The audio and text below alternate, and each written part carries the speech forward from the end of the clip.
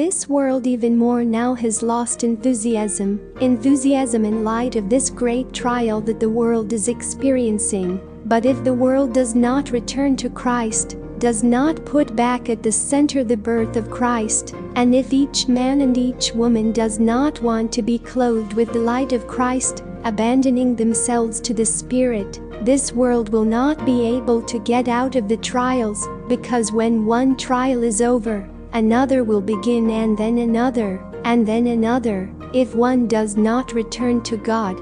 But those who live God have already won the trial, they have already exceeded.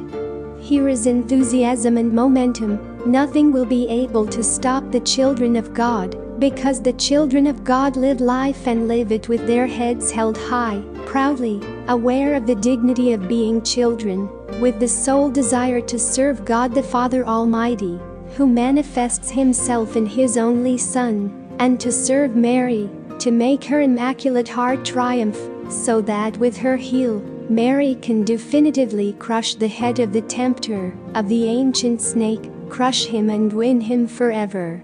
This is the strength that must animate us in that spiritual battle that will see the children of God, the children of Mary, to win and not succumb. Let the dead bury their dead, says Jesus in the Gospel. You live life, you are children of He who is life. You are children of He who is light. Bring to all the light, Restore the holy enthusiasm in the light of He who is light, and only this way, peace can be stable on this earth. Pope Paul VI wanted to establish a day as World Day of Peace. We make our own his words, his invitation. The invitation of this predecessor, reaffirming that peace can be accomplished only and only when all will recognize Christ as the King of Kings and the Lord of Lords because this is the will of the Father.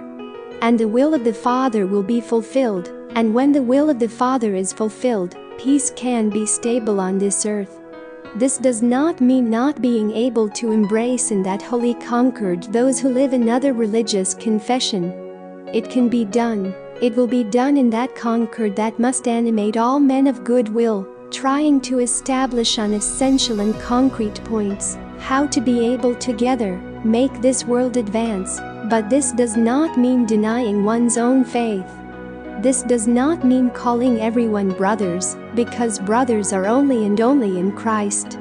That is why we must first unite, reunite in Christ and then together, keeping in mind His teachings, His absolute truth that can never be watered down and become relative, approach others, proclaim the good news, bring to everyone again that announcement of salvation that only in Christ is fulfilled, to then respect the decision that brother or that sister will undertake.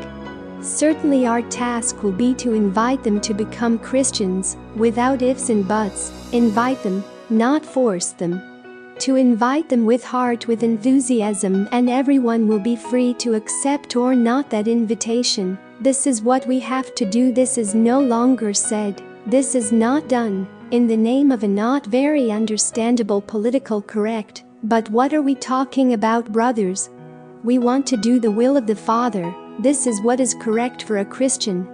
We want to give joy to the heart of Mary, who lived to bring all to the Son. This is what is correct for a Christian.